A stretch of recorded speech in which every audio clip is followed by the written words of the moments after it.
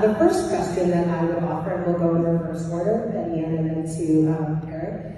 What policy solutions are you looking to see enacted in Augusta in the next term as it relates to the key issues of keeping prices down while balancing that need for workforce and wages, which is the pinch point most of the businesses hear from the south side?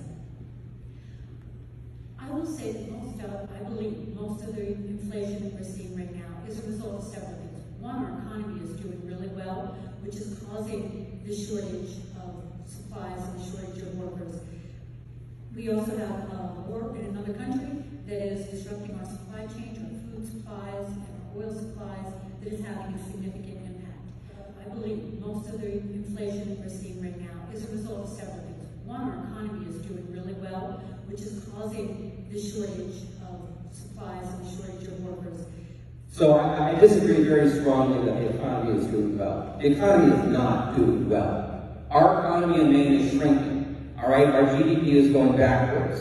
Uh, inflation is ravaging the, the, the Maine people of our of our, our paychecks and our retirements, our kids' college fund, and this was utterly predictable. In fact, two years ago, when the policy debate was we should shut down the economy and print trillions of dollars out of thin air to fund everything that we want, I warned at the time Inflation is going to be a predictable consequence of this, and the inflation is here. Uh, you don't need to be Elon Musk to understand. Elon Musk said, you know, if you don't make stuff, you don't have stuff.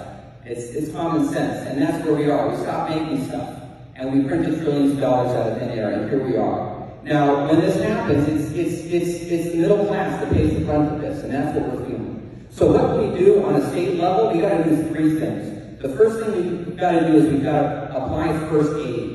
We've got to do what we can to bring down the cost of living immediately for many people. We should suspend completely tax state taxes on things like heating oil and basic life necessities to help people get through this cold winter.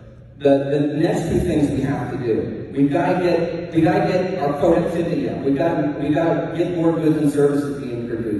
Um, we need welfare reform to get people back into the workforce. We need to bring affordable energy to the state. We need to revisit negotiations with Massachusetts to get natural gas pipeline up here, which they blocked in recent years. It's kind of funny they want that hydro corridor coming through our state, but they don't want natural gas pipeline coming through their state. Seems that they want something, we want something, we should be able to negotiate. But then the third thing we have to do is we have to push back against the overspending in Washington, D.C. We have to do this from the state level. You can't print trillions of dollars out of thin air and think that that's going to create prosperity. That is stealing value from the savings of the middle class, and people are feeling